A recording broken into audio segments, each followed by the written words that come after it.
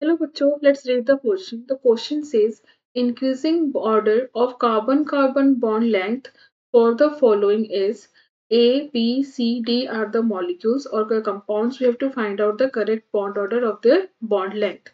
In the compound A, it is C2H4 and the structure is C double bond C and this is H4 and here the carbon atoms are sp2 hybridized so the overlapping is sp2 sp2 okay in case of b it is c2h2 and the structure is hc triple bond ch here the overlapping of carbon is sp and sp okay hybridization क्योंकि sp है the overlapping will be due to sp hybridized okay orbital in case of c it is c6h6 that is benzene okay that is the structure of benzene.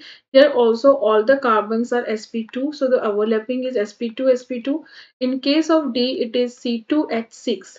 So in c2h6 both the carbon atoms are sp3 hybridized and therefore the overlapping is between sp3 orbitals. It is sp3 sp3 overlapping. Okay, बच्चों?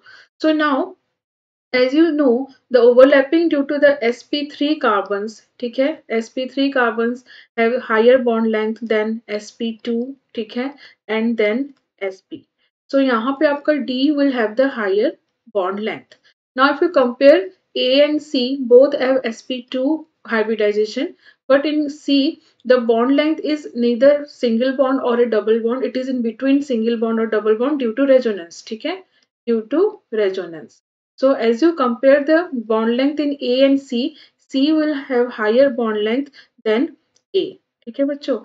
And B has the least bond length due to the overlapping of sp hybridized orbital.